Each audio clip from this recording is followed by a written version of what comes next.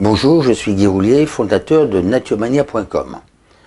Si vous visionnez cette vidéo, c'est que son titre a fait tilt dans votre tête et que vous vous posez les bonnes questions. Que puis-je faire pour ne pas vieillir?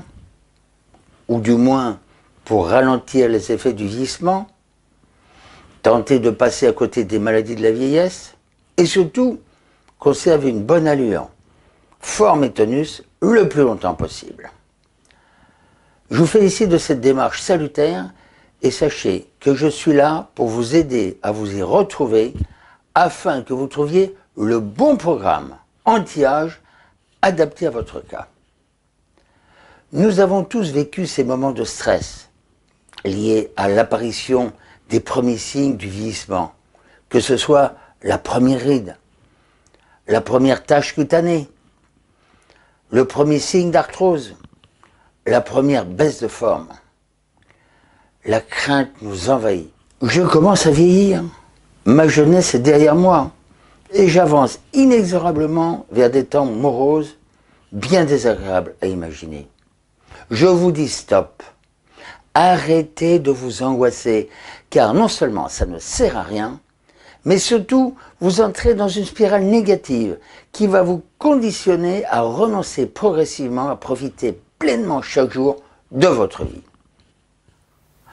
Nous pouvons agir sur certains facteurs du vieillissement, ceux qui dépendent de nous et de notre environnement. L'âge de la retraite devrait être modulé d'ailleurs en fonction de la pénibilité du métier exercé et de l'usure corporelle qui en a résulté. Certains ressentent la mise à la retraite comme une mise au placard, une exclusion de la société active alors qu'ils ont encore tant à donner et ont envie de donner. Le bénévolat leur offre heureusement une porte de secours. À 50 ans, on atteint la pleine maturité physique et mentale. À 60 ans, on est seulement à la moitié de la durée de vie potentielle qui est, je le rappelle, de 120 ans. À 70 ans, si on fait attention à sa santé et si on est animé d'un idéal de vie, on a à la fois l'expérience, la force et la motivation pour continuer à faire des projets, à être utile à ses proches et à la société. De même, à 80 ou même à 90 ans, certains sont encore actifs et autonomes. Certains centenaires sont toujours actifs et indépendants.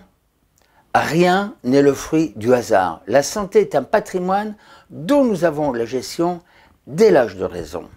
Il suffit d'en prendre conscience et d'aimer la vie. Si on aime la vie, si on la respecte, si on respecte les autres, on se respecte.